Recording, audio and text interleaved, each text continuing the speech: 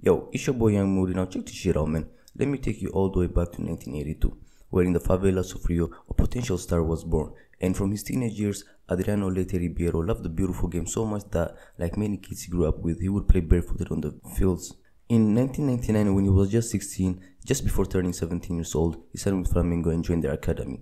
When he joined Flamengo in the beginning, played as a left central defender, but as time passed on, the coach saw his real potential and his powerful left foot, and not long after they pushed him up forward in the pitch to play as a central striker.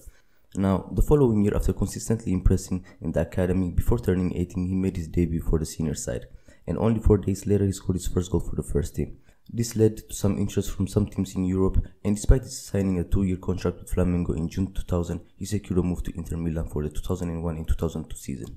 Immediately thereafter, Adriano was loaned out to Fiorentina for the 2001-2002 season, where he scored 6 goals in 15 appearances. This gained the interest of Parma, another Italian club who struck a deal with Inter which involved a co-ownership agreement and another Italian footballing legend, Fabio Cannavaro, moving from Parma to Inter Milan. In Parma is where Adriano went from being a boy to a man. He formed an impressive striking duo with Adrian Mutu, scoring 22 goals in 36 appearances for Parma. He was extremely powerful, and Zlatan described his shot with his left foot as being even better than his. He was a player who could take free kicks, dribble, provide assists. He was the full package, y'all, and the media was dubbing him as the next heir to the fat Ronaldo. In January 2004, Inter brought him back for 24 millions, where he scored 13 goals in 21 appearances. He helped Inter achieve Champions League qualification in Italy. They nicknamed him L'Imperatore, the Emperor. Adriano was on the rise, and in August of the same year, something remarkable would happen that would change his life upside down. In Lima on July 25, 2004, Adriano scored a dramatic stoppage time equalizer after Brazil were trailing Argentina 2-1 in the Copa America final. The game went to extra time and then continued to the penalty shootouts. Adriano stepped up again and took the first penalty.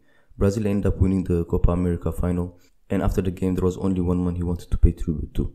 The title belongs to my father, Adriano said after the match. He's my great friend in life, my partner. Without him, I am nothing. Now, his father, Mr. Almir, had recently been suffering from ill health, and nine days after his son's moment of glory in Peru, he died of an heart attack, aged only 45. When this tragedy happened, Adriano was with Inter Milan in Italy. Javier Zanetti, Inter Milan teammate and club captain, recalls. He got a phone call from Brazil, and someone said on the phone, Adri, dad is dead. I saw him in his room, Zanetti continues. He threw the phone and started screaming. You couldn't imagine that kind of a scream. Since that day, Moratti, the Inter Milan chairman, and myself watched over him as if he was our little brother. He kept playing football, scoring goals, and pointing to the sky, dedicating them to his father. But after that phone call, nothing was the same. Ivan Cordoba, Inter Milan teammate, spent one night with him and said, Adri, you're a mix of Ronaldo and Zlatan. Are you aware what you could achieve? You could become the best player ever. And Zanetti continues, Our biggest regret is that we did not succeed of pulling him out of depression. That following season, Adriano was in peak form, scoring an impressive total of 42 goals in both domestic and international competitions, and was nominated in the top 7 Ballon d'Or list. But that did not last, and it was the beginning of the end. Adriano got depressed and started clubbing and partying excessively to the point where he had alcohol dependency. Looking back now, Adriano says, At that time, I only felt happy when I drank. He then continued, I could only sleep if I drank.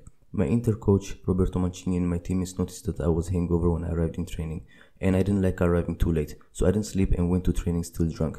I slept in the medical department, and Inter had to tell journalists that I had muscular pain.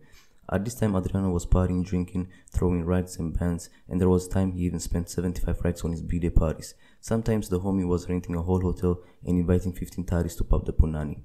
There were big hopes for Adriano in the World Cup 2006, but his performances were really overwhelming in a competition where he scored only two goals against Australia and Ghana. Against France, he barely touched the ball, and the quartet of Ronaldinho, Kaká, Ronaldo, and Adriano exited the World Cup in a disappointing fashion. Inter got fed up with Adriano eventually and released him from his contract in 2009, where he signed a one-year contract for Brazilian club Flamengo, the club which he started his career. After gaining some form with Flamengo, not long after he signed again for Roma in order to revive his career, but one year later in March 2011, Roma terminated his contract after seven months in the Italian capital. In March 2011, he signed for Corinthians, but he was released again the following year because of his irregular appearances and lack of interest. Zlatan once said, and I quote, I played with great champions. I played with players that were already wow. I already played with players that I saw the real talent and became wow. But one I felt could do it even longer and didn't do it was Adriano when I was at Inter Milan. He could shoot from every angle. Nobody could tackle him. Nobody could take the ball from him. He was a pure animal. Adriano has now won 14 major honors, including the 2004 Copa America and 4 Serie A titles, He also finished in the top 7 of the Ballon d'Or list twice. But despite his natural talent, Adriano's consistency, character, fitness, and work rate were brought into question after the death of his father. Moreover, his struggles with depression and alcoholism, combined with his hedonistic and turbulent lifestyle off the pitch, as well as his personal troubles, injury struggles, and lack of discipline in training, contributed to his significant weight gain as his career progressed. After his dad died, his focus, his motivation, and the love for the game faded away as he was only interested in piping beauties left and right. Adriano was also a record three-time winner of the Bidone d'Oro Award, a prize is given to the worst Serie A player during a particular season, which he won in 2006 and 2007 with Inter Milan, and also again in 2010 with Roma.